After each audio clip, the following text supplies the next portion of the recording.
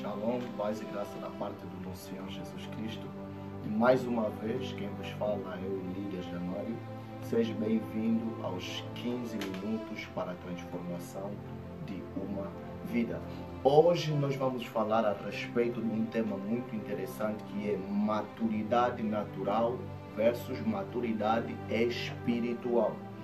Aleluia. Para nós falarmos desse texto, então, teremos que partir para o livro de 1 de Coríntios, capítulo de número 13, versículo de número 14. Versículo de número 11, perdão. Diz assim a inerrante palavra do Senhor, na versão João Ferreira de Almeida. Quando eu era menino, falava como menino, sentia como menino, discorria como menino mas logo que cheguei a ser homem, acabei com as coisas de menino. Na King James, na versão King James, diz assim: Quando eu era menino, pensava como menino, sentia e falava como menino. Quando cheguei à idade adulta, deixei para trás as atitudes próprias das crianças. Então, para nos falar desse tema, tínhamos que ler essa passagem. Paulo aqui está a falar uma coisa muito interessante. Ele vai dizer que quando eu era menino, falava como menino, sentia como menino. Uma coisa muito interessante. E pensava como menino. E hoje eu quero falar da maturidade natural versus maturidade espiritual ou imaturidade espiritual. Na verdade, o que, que é maturidade natural? Quando, com quando é que nós consideramos alguém maturo? Alguém é maturo quando é capaz de tomar decisões por si. Mas não é apenas tomar decisões por si, é tomar boas posições, boas decisões, ou seja, tomar decisões coerentes. Porque, por exemplo, uma criança pode tomar decisões por si. Uma criança, por exemplo, de 12 anos pode decidir namorar. Sem que os pais saibam. Ele pode decidir namorar. Mas é uma coisa que será benéfica para ele? Não. Então, dentro desse tipo de decisão, nós não enxergamos a maturidade. Quando é que nós enxergamos a maturidade? Quando está se falar de maturidade está se falar na capacidade de decidir as coisas com coerência, saber identificar os tempos, as estações, aleluia, Osana, e não só. Quando estamos a falar de maturidade, alguém maturo é alguém que não chora como criança, não fala como criança, não pensa como criança. Por exemplo, uma criança, se lhe pisarem no pé, vai se atirar no chão vai chorar, vai chorar, vai chorar, vai chorar, vai chorar. Por quê? Porque ele é criança e sente como criança, pensa como criança. Uma criança, se estiver a brincar com uma faca e você lhe recebe, a criança fica magoada contigo. Por quê? Porque pensa como criança, sente como criança.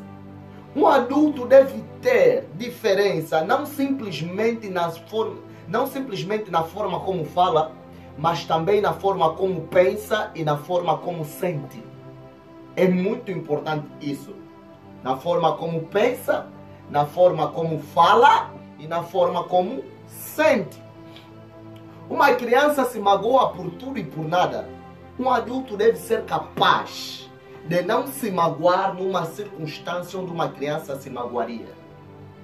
Alguém maturo deve ser capaz de conseguir fazer com que não sejam todas as coisas que lhe atinjam diretamente. Alguém maturo, por exemplo, nunca vai querer tirar a sua vida por causa de um problema, mas alguém maturo sim. Por quê? Porque acha que a morte é a solução dos problemas. Maturidade. Oh, glórias a Deus por isso. Quando estamos a falar de maturidade, estamos a falar de alguém que consegue acatar com as consequências dos seus erros com as consequências das suas ações, com as dificuldades da vida, com as dificuldades do mundo. Alguém maturo está sempre à busca de solução para diferentes problemas que surgem. Mas alguém maturo é aquele que se põe a reclamar de todos os tipos de problema que surgem. A pessoa imatura ainda não entendeu que na reclamação não existe solução. Mas a pessoa matura consegue entender que quando um problema surge, eu devo me sentar para procurar resolver este problema. Devo procurar sentar, refletir, devo pensar. Não como criança, porque criança vai estar a pensar na dor. Por essa razão é que Paulo disse que não, quando, quando era menino, pensava como menino. Uma criança, quando acontece uma situação que lhe magoa, a criança vai se pôr a pensar na dor. Se uma criança lhe pisar no pé, ele vai se pensar no pé, no indivíduo que lhe pisou no pé. Mas um adulto deve ser diferente da sua capacidade de raciocínio. Alguém maturo deve pensar de uma forma diferente. Pensar de que forma? Quando alguém te magoa ou quando alguma coisa acontece que mexe com a tua estrutura, você, como alguém maturo, deve sentar para procurar soluções, não para pensar na dor. Quando você estiver a pensar e você pensar na dor em vez de pensar na solução, entenda que você é uma pessoa imatura. Segundo ponto, ainda estou a falar da maturidade natural.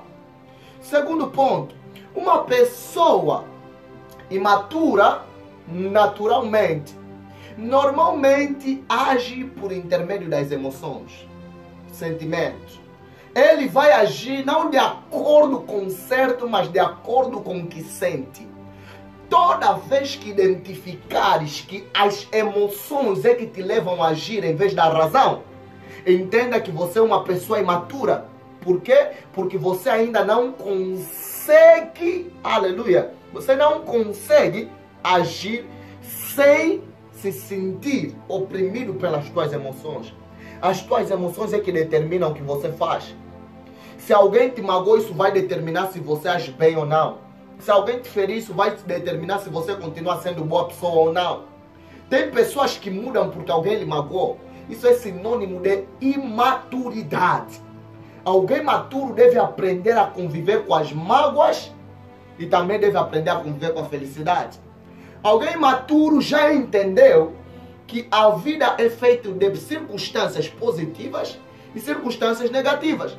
Ninguém pode fugir disso. A única solução, se quem não quer ter problema, deveria não ter existido. Se você existe, vai ter problemas. Vai ter problema desde o momento que você vai ter problema até você morrer. Aleluia. Se ires para o céu, deixas de ter problema. Mas se ires para o inferno, vais continuar a ter problema mesmo depois de morrer. Então, você deve aprender a conviver com as adversidades, deve aprender a conviver com os problemas, com as dificuldades, porque isso nos ajuda a amadurecer. Alguém maturo sabe que por detrás de todo problema existe uma experiência que mais tarde se traduzirá em sabedoria. Mas alguém maturo reclama por tudo, reclama por nada. Está mais acostumado a reclamar do que outra coisa. E outro ponto para você identificar se alguém é imaturo ou se tu és imaturo é que alguém imaturo está sempre a culpar os outros pelos erros que ele que cometeu. Alguém imaturo nunca enxerga que as causas do que ele está a passar está no seu próprio procedimento. Nunca consegue identificar o erro nele próprio. Ele só consegue identificar o erro na outra pessoa ou nas outras pessoas. Se tu tiveres uma atitude desse tipo, entenda que você é uma pessoa imatura. Por quê? Porque os teus sentimentos só te permitem observar os erros nas outras pessoas. Você não consegue ver onde você particularmente errou. Você só consegue identificar erros nos outros e não consegue identificar erro em si mesmo. Isso é grande imaturidade. Eu tenho dito que errar é normal. Mas errar e não conseguir identificar que você errou ou onde você errou é fatal. Alguém maturo deve ser capaz de identificar erros nos outros? Sim, mas deve ser mais capaz ainda de identificar os erros em si mesmo. Por quê? Porque os erros que você muda nos outros, os defeitos que você muda nos outros, lhe tornam as pessoas melhor. Quando alguém muda por causa de uma repreensão, tu se torna uma pessoa melhor. Mas você deve entender que nem sempre haverá alguém para repreender você. Então você deve ser capaz de se autoavaliar e enxergar onde é que você está errado ou onde você tem errado. Para quê? Para que você possa posteriormente auto-reparar-se e assim estar em constante evolução. Isso vai te tornar uma pessoa cada vez mais matura. O meu tempo está terminando, então eu quero falar da maturidade espiritual. Para mim falar disso, teremos que partir para o livro de Romanos, capítulo de número 8, versículo de número 14, que diz assim: Porque todos que são guiados pelo Espírito de Deus, esses são filhos de Deus. E é essa passagem que eu vou utilizar para mim poder abordar a respeito disso. Falando de maturidade espiritual, você deve entender uma coisa toda pessoa matura, segundo a carne, naturalmente, não deve ser guiado pelas emoções, deve ser guiado segundo a razão, segundo o que é certo. Não importa se você quer ou não, é certo, deves fazer. Não importa se você não quer, se é certo, tens que fazer. Já quando estamos a falar de maturidade espiritual, é, o cenário muda a razão que deve nos fazer nos mover é diferente. Por quê? Porque quando somos pessoas naturais, a lógica deve nos guiar, a razão deve nos guiar. Porém, quando estamos a falar de maturidade espiritual, pessoas maturas espiritualmente são pessoas que não são guiadas segundo as suas emoções, não são guiadas segundo as suas próprias vontades, mas se movem segundo a vontade de Deus. Essas pessoas são maturas espiritualmente. A Bíblia está a dizer que os filhos de Deus são guiados pelo Espírito de Deus. No livro de Gálatas, capítulo de número 5, no versículo de número 20, se nos tem diz que se vivemos no Espírito, andemos também de igual modo no Espírito. É importante que alguém espiritual seja maturo espiritualmente. Você não vai ser maturo espiritualmente se você não for guiado pelo Espírito de Deus. Não existe maturidade espiritual se você não está a ser guiado pelo Espírito de Deus. Você deve ser maturo. Quando você se torna alguém maturo espiritualmente, você não vai fazer as coisas debaixo da emoção. Você vai fazer as coisas de acordo com a orientação de Deus e de acordo com a sua palavra. Você não vai fazer as coisas porque te apetecem. Você vai fazer as coisas porque o Espírito de Deus me leva a fazer isso. Você não vai fazer as coisas porque eu tenho vontade.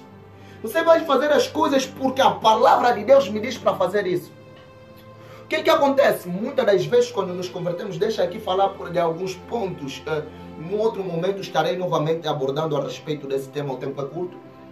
Muitos, quando nos convertemos, por exemplo, quando nos convertemos, normalmente nós ganhamos um zelo. O que é que acontece? Nós queremos apenas estar na igreja, estar na casa do Senhor. O que é que acontece? Nós sentimos que a nossa vida é só Deus e simplesmente Deus e acabou. E o que é que acontece? Nós nos entregamos de uma forma total. Isso é extremamente maravilhoso. Porém, muitas das vezes, deixamos de cumprir com as nossas responsabilidades. Você se converteu, mas ainda és filho de alguém. Se converteste, mas ainda és irmão menor de alguém. Se converteste, mas és pai de alguém, és filha de alguém, és irmã de alguém. Existem responsabilidades que você tem. Alguém emocionado espiritualmente, o que é que entende? Pelo fato de. Olha, o fato de você ter se convertido não significa que você não deve fazer os trabalhos de casa. O fato de você ser cristão não significa que você não tem que trabalhar. O fato de você ser convertido não significa que você não tem que estudar. E você vai pensar que eu tenho que ficar na igreja desde de manhã até a noite e já não devo fazer mais nada. Isso é maturidade espiritual. Porque a palavra não te leva a fazer isso, muito menos o Espírito de Deus. Então, você deve ser maturo espiritualmente não apenas naturalmente. Quando você se converte, você precisa entender. A Bíblia diz: dar de Deus o que é de Deus e de César o que é de César. Quando você consegue fazer essa, essa divisão, você está a caminhar para a maturidade espiritual. Conseguir pôr as coisas nos seus devidos lugares. Você é cristão, mas tens um